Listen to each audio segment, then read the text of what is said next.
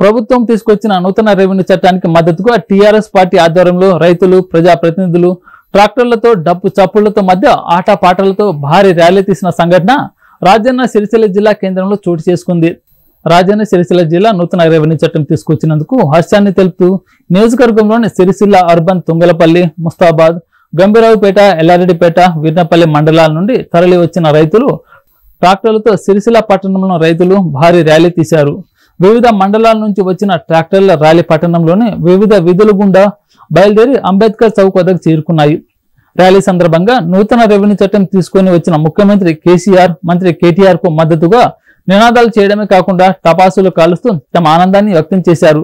ఈ సందర్భంగా టైస్ కార్డ్ చైర్మన్ కొండూరు రవీంద్రరావు మాట్లాడుతూ నూతన రెవెన్యూ చట్టం ముఖ్యమంత్రి కేసీఆర్ తీసుకురావడంతో కృషి చేసిన ముఖ్యమంత్రి కేసీఆర్ మంత్రి కేటీఆర్లకు గత వారం రోజుల నుండి రైతులు ర్యాలీ తెస్తూ తమ కృతజ్ఞత తెలియజేస్తున్నారని వారు ఆనందం వ్యక్తం చేశారు.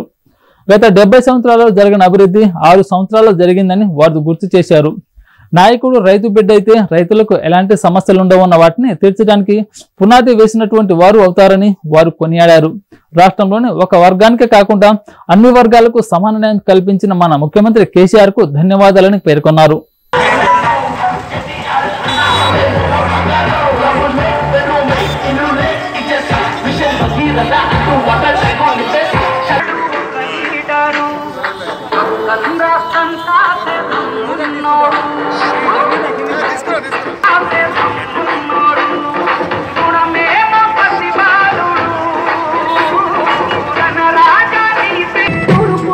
Thank.